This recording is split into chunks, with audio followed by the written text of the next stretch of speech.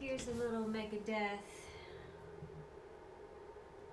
Some five magics. I'm gonna test out this mono synth pedal by Electro Harmonix. Sounds crazy.